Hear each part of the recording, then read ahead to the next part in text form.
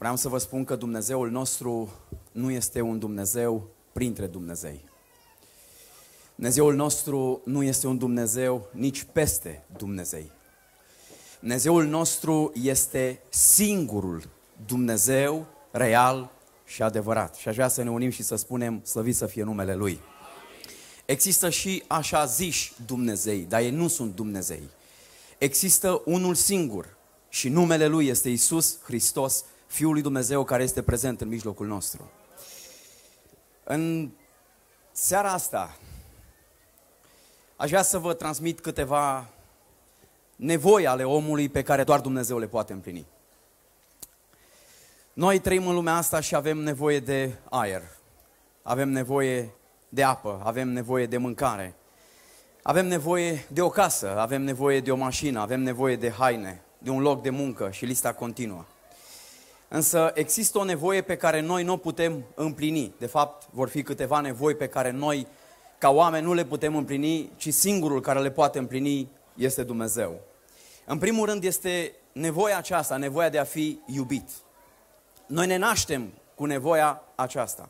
Nu contează în ce casă ne naștem, nu contează uh, unde ne naștem, în ce loc ne naștem de pe pământul acesta, cu toții. Ne naștem cu nevoia de a fi iubiți. Și vom muri cu nevoia aceasta de a fi iubiți. Vreau să știți că uh, mulți dintre noi, ca oameni, uh, ne dorim ca cei de lângă noi să împlinească nevoia aceasta noastră de a fi iubiți. Uh, numai că și ei au aceeași nevoie ca și noi, nevoia de a fi iubiți. Uh, de aceea să știți că s-au, uh, s-au întâmplat multe divorțuri, pentru că soția s-a uitat la soț și a așteptat să fie iubită. Și soțul, la rândul lui, s-a uitat la ea și a așteptat să fie iubit. Să știți că astăzi există foarte multe probleme între părinți și copii, pentru că sunt copii care așteaptă să fie iubiți de către părinți și părinți care spun Uh, copiii mei nici nu mă mai caută, nu mai dau un telefon, nu-i mai interesează de mine. Este o nevoie cu care ne naștem. Nevoia aceasta nu o putem împlini niciunul dintre noi. Biblia zice, cine nu iubește n-a cunoscut pe Dumnezeu, pentru că Dumnezeu este dragoste. Dumnezeu este izvorul dragostei. Noi ne naștem cu egoismul noi sau cu iubirea de sine. Și egoismul este mâna care mereu cere și cere și cere, respectă-mă, iubește-mă, fii atent la mine, ai grijă la vorbele tale, vezi să nu mă rănești, vezi că m-ai jignit, vezi că n-ai vorbit bine. Însă Dumnezeu este Cel care dorește ca această nevoie să o lăsăm să o împlinească El. Pentru că El este singurul care poate să împlinească această nevoie. Sunt prietenii care au fost rupte, prietenii de o viață, doar din cauza egoismului. Așa cum spuneam, relații dintre soț, soție, relații între părinți și copii au fost distruse din cauza egoismului. Pentru că ne naștem cu această nevoie, nevoia de a fi iubiți. Și singurul care poate să împlinească această nevoie este Dumnezeu. Iată ce strig astăzi în locul acesta. Dumnezeu te iubește și nu te iubește oricum, te iubește așa cum ești. Te iubește cu păcatele tale, te iubește cu defectele tale, te iubește cu greșelile tale, te iubește cu neputințele tale, te iubește cu slăbiciunile tale, cu limitările tale, te iubește așa cum ești, cu toate păcatele tale, chiar dacă Dumnezeu nu este de acord cu, păcate, cu păcatele tale. Asta nu înseamnă că Dumnezeu nu te iubește. Dumnezeu te iubește așa cum ești și așteaptă ca tu să te duci în prezența Lui cu o inimă sinceră și curată și să cer de la Dumnezeu acea iubire pe care doar El o poate da prin Duhul Său cel Sfânt. Domnul s-a arătat de departe și a spus, te iubesc cu o iubire veșnică. Să știți că și oamenii care ajung în iad, ei sunt iubiți de Dumnezeu. Chiar dacă vor ajunge acolo, ajung din cauza păcatelor lor, nu din cauza faptului că Dumnezeu nu i-a iubit. De aceea, astăzi, te îndemn în numele Domnului Isus Hristos, nu mai cere de la alții iubire, nu mai cere de la alții respect, nu mai cere de la alții să fie atenți cu tine. Du de la Dumnezeu și ia dragostea care vine din Dumnezeu și oferă celor din jurul tău. Așa inima ta va fi senină, inima ta va fi plină de pace, nu vei mai avea mărăciune, nu te, vei, nu te vei mai închide în casă, nu vei mai fugi de oameni, nu te vei mai baricada, ci vei fi un om superior care a luat dragostea lui Dumnezeu și oferă și celorlalți. Noi nu putem iubi pe cei din jurul nostru cu iubirea noastră, pentru că noi nu avem. Noi nu putem fi buni cu cei din jurul nostru pentru că noi suntem răi. Hristos a spus, voi care sunteți răi, știți să dați daruri bune. Natura noastră este una rea. De aceea trebuie să mergi în prezența lui Dumnezeu și să ceri de la Dumnezeu dragostea care vine din El și să o poți să o dai și celor din jurul tău.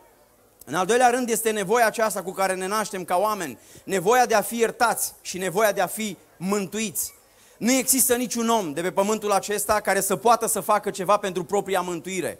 Indiferent ce am face noi, indiferent câți bani am dat noi ca milostenie, indiferent cât am ajutat, indiferent câte biserici am construit numele Lui Dumnezeu, indiferent câte sacrificii am face într-un fel sau într-altul, tot ce facem noi n-are putere să ierte păcatele noastre să ne mântuiască. Nu există niciun alt om din jurul nostru, indiferent cât de sfânt ar fi pastorul, indiferent cât de sfânt ar fi preotul, indiferent cât de sfânt ar fi tata sau mama, ei n-au putere să ne ierte păcatele.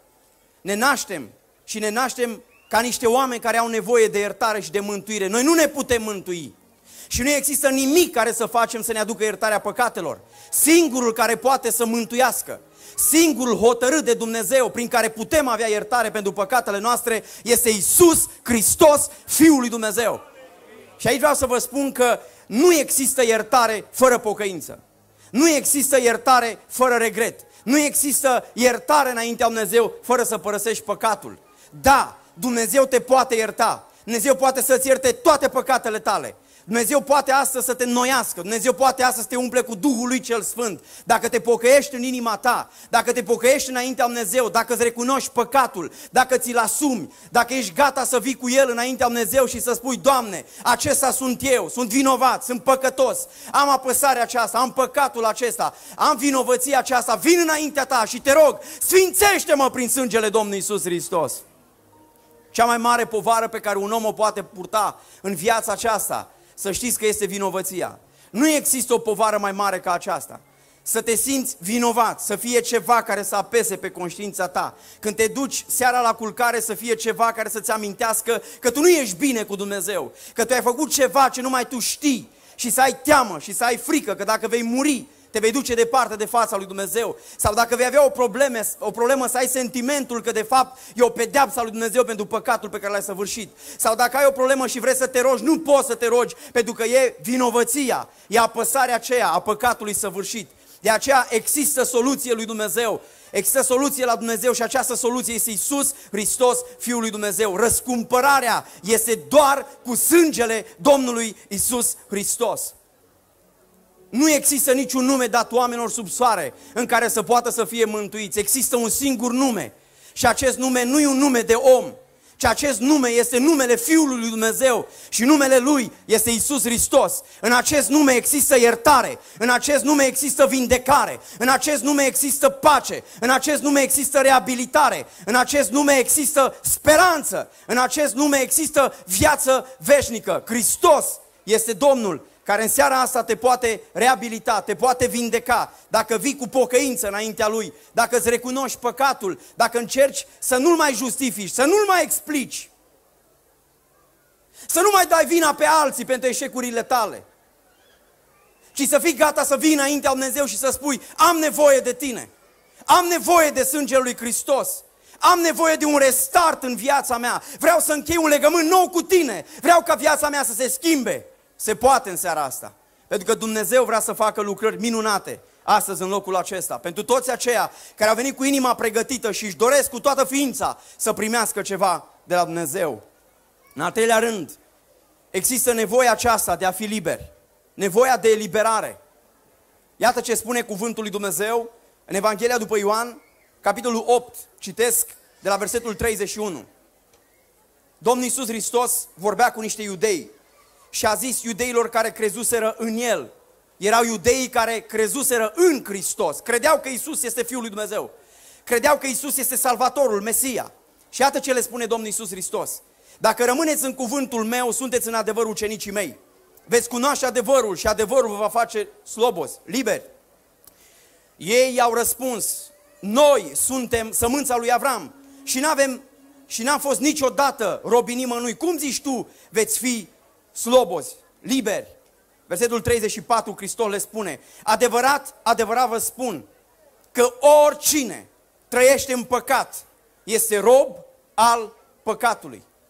Nu contează cine ești, Nu contează cine e tatăl tău. Oamenii aceștia spuneau, noi îl avem pe Avram ca tată. Noi nu suntem oricine și orice fel de oameni. Noi îl avem pe Avram ca tată. Credinciosul, credincioșilor. Deci nu suntem oricine. Și astăzi există oameni care spun, noi nu avem nevoie de eliberare. Noi suntem ortodoxi. Noi nu avem nevoie de eliberare. Noi suntem baptiști. Noi nu avem nevoie de eliberare, noi suntem penticostali, noi nu avem nevoie de eliberare, noi suntem pocăiți, noi nu avem nevoie de eliberare, noi cântăm, nu avem nevoie de eliberare, noi predicăm, iată ce spune Hristos. Oricine trăiește în păcat, oricine trăiește în păcat, oricine iubește păcatul, oricine săvârșește păcatul, este rob, este legat de păcat, este rob al păcatului. Și există o singură cale pentru eliberare de păcat. Și eliberarea aceasta există în Isus Hristos, Fiul lui Dumnezeu. Conform faptele apostolilor, capitolul 10, 37, 38, Hristos este hotărât și uns de Dumnezeu să elibereze de apăsare. Și vreau să, să spun astăzi în locul acesta, poate că ești apăsat de descurajare, Hristos te poate elibera. Poate ești apăsat de frică, poate e o frică că ceva se întâmplă cu tine. Poate că e o frică, o teamă că ceva se va întâmpla cu copiii tăi, cu casa ta. Poate e un atac de felul acesta, o apăsare de felul acesta. Poate e o ură în inima ta și nu poți să ierți pe cineva sau nu vrei să ierți pe acea persoană.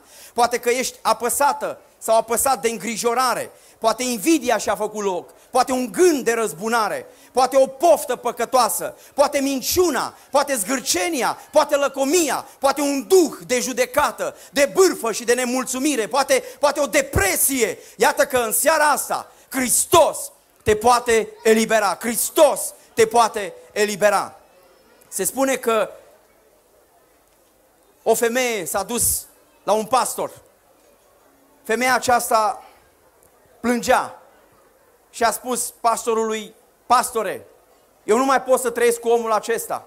M-a bătut, m-a scuipat, m-a dat afară din casă. Am reușit să iau doi copii cu mine și au mai rămas încă doi cu el.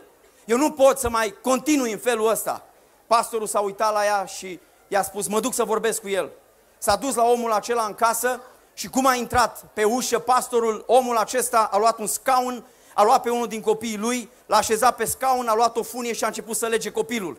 Și l-a legat și l-a legat fără să zică niciun cuvânt. După ce l-a legat bine, a spus copilului, acum îți spun să te ridici. Și copilul a încercat și a început să plângă, era teamă și a zis, nu pot. Și, și omul a continuat și a spus, nu, nu, nu, eu îți spun să te ridici acum, ridică-te. Și copilul tot încerca și a zis, nu pot. Și apoi s-a îndreptat către pastor și a spus, pastore, așa sunt eu, vreau să mă las de păcat și nu pot. Vreau să mă las de băutură și nu pot. Vreau să mă las de lucrurile acestea rele, dar nu pot. Și atunci pastorul a luat un cuțit. A început să taie funia, puțin câte puțin. Pe ce a tăiat toată funia, a zis copilului, acum ridică-te. Și copilul s-a ridicat. Apoi pastorul s-a îndreptat spre omul acela și a spus, vezi, așa face cuvântul lui Dumnezeu. Așa eliberează Hristos, Fiul lui Dumnezeu. Dacă ești gata să-L lași, să te elibereze, să te vindece și să te schimbe. Iată spune Dumnezeu, voi lua inima de piatră și voi pune o inimă de carne. Probabil că ești aici și nu mai simți prezența lui Dumnezeu de ceva timp. Probabil că vrei să te rogi și n-ai putere să te rogi. Probabil că vrei să cânți și n-ai putere să cânți. Probabil că vrei să stai să asculți un mesaj, dar n-ai răbdare să stai, pentru că inima ta a ajuns să fie împietrită de păcat și de pofta păcatului. Însă în seara asta, Dumnezeu, în numele lui Isus Hristos, poate să schimbe inima. Dumnezeu, în numele lui Isus Hristos, te poate transforma. Dacă vii cu o inimă deschisă înaintea Lui și vii cu starea ta și ești gata să strigi către Dumnezeu și să-L rogi pe Dumnezeu din toată inima să te elibereze, să te schimbe și să te vindece, vei vedea puterea Lui Dumnezeu. De aceea vă chem să vă ridicați înaintea Lui Dumnezeu și aș vrea să ne rugăm. Și aș vrea să ne rugăm. Și aș vrea să te rogi. Roagă-te. Crede că Domnul Isus Hristos este în locul acesta crede că este viu cuvântul lui Dumnezeu și viu este numele lui Dumnezeu. Poți pleca un om schimbat din locul acesta dacă tu ales să crezi, să te smerești și să, să strigi către Dumnezeu cu toată ființa. Vreau să vă chem să închideți ochii înaintea lui Dumnezeu, să plecați capul în fața lui Dumnezeu și dacă nu vă cer prea mult, Vreau să ridicați mâinile înaintea Domnului. Aveți curaj să stați cu mâinile ridicate. Și dacă, dacă ai o mustrare în inima ta când ridici mâinile, să spui Dumnezeu, Doamne, Sfințește mâinile mele prin sângele lui Hristos. Curățește mâinile mele, curățește mintea mea, curățește ochii mei, sfințește gura mea, sfințește sentimentele mele, sfințește Duhul, sufletul, trupul meu. Hristos este Domnul. E viu Dumnezeu, e viu cuvântul lui, e viu numele lui Dumnezeu. De aceea strigă către Domnul și strigă din toată inima. Doamne, Tu ești Dumnezeu și nu este altul în afară de Tine. Numele Tău este viu, numele Tău este puternic. Noi suntem adunați în locul acesta în numele Fiului Tău, Iisus Hristos. Știm că Tu ai toată puterea în cer și pe pământ, Doamne. Știm că Tu ești Dumnezeu care primești regretul, ești Dumnezeu care primești pocăința, ești Dumnezeu care te uiți spre cei care se smeresc înaintea Ta, care strigă, Doamne. Mă rog astăzi, în numele Lui Iisus Hristos, să privești spre inimile, Doamne, care se smeresc înaintea Ta, să privești spre cei care strigă astăzi, Doamne, către Tine după ajutor, după eliberare, după vindecare, după dragoste, după puterea de a iubi, de a ierta, de a merge înainte, Doamne. Mă rog, Duhul Tău cel Sfânt, Doamne, să lucreze. Duhul Tău cel Sfânt, Doamne, Dumnezeule, să lumineze. Duhul Tău cel Sfânt, Doamne, să, să schimbe ce are de schimbat, să transforme ce are de transformat, Doamne. Noi ne închinăm înaintea Ta și știm că ești viu, Doamne. Și știm că e, e viu numele Tău, Doamne. Ești Dumnezeu și nu este altul în afară de Tine. E singurul Dumnezeu adevărat. E singurul Mântuitor. E singurul Salvator. E singurul care ne poți ierta. E singurul care poți să ridici vinovăția, Doamne. E singurul care poți ridica apăsarea, Doamne. E singurul care poți face o schimbare reală. Una adevărată în numele Lui Iisus Hristos. Glorie Ție, Doamne, glorie Ție.